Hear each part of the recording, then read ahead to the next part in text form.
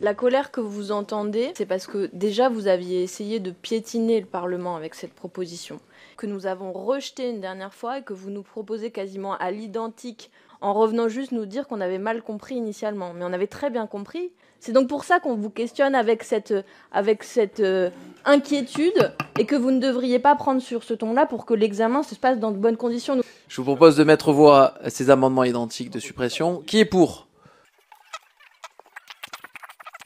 19, 20. Qui est contre? 18, 19, 20. Oui, bah oui, oui, 20. Oui, oui, 20. Non, non, non, ça se recompte pas. 20 et 20. Rejeté. Oui, 20, 20, 20 contre 20, oui, il n'y a pas... euh, non, mais écoutez.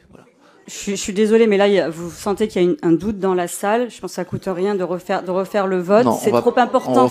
C'est trop important. S'il vous C'est plaît. trop important. On- On peut pas laisser un doute sur ce vote-là. Il est crucial, Monsieur le Président. Il n'y a pas de doute, on continue, s'il vous plaît. Si, on a, on a un doute Non. là. On a un doute. Non, non, mais il y a eu un vote très clair, 20 contre 20, s'il vous plaît. Non, mais on recompte pas, on il n'y a pas de sujet de, de recompter. Président, j'ai l'impression que euh, on a tous senti qu'un un gros doute s'était installé sur euh, le dernier vote. Ça n'est absolument pas pour euh, remettre en cause votre présidence. En vertu de l'article S'il vous plaît. 44 alinéa 2 du règlement, qui permet de demander un vote par scrutin en commission, si jamais au moins un dixième des membres de la commission le demande, et je pense que c'est le cas, j'aimerais que nous reprocédions au scrutin qui vient d'avoir lieu. Très bien.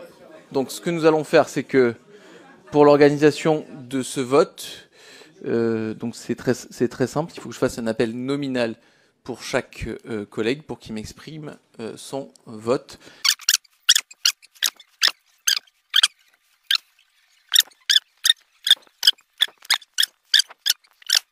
Et Jean-Marc Julézy contre.